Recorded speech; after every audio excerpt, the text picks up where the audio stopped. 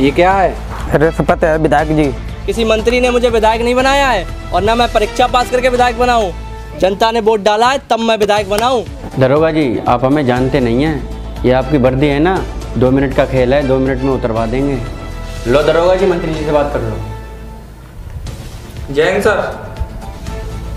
जी sir.